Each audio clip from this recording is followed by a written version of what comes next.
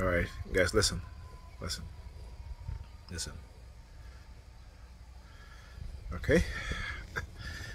so they Dave was making a whole bunch of noise. I just started recording. Um, also, I was listening to a video that I wanted to save because it was about the sermon on Christ, what have you. Pretty interesting, but anyhow, um, all of a sudden they started making all the noise, and I wanted to see. I wanted to actually save the video because I'm actually playing a game. So I was playing, and I was playing Bobby Hemmitt in the background, playing the game. Right now, my mouse not because uh, I have my mouse wirelessly connected and my keyboard.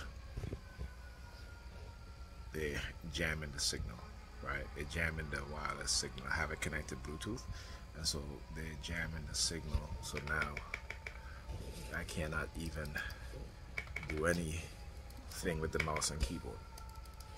All right, that's just happens as soon as they start making that noise outside. All right, so again, engaging in the type of behavior, the state-sponsored terrorism. This is what they do, and how they jam your signal. why they jamming the signal because again, you know, you're out, you know, um, they do this for a reason, right?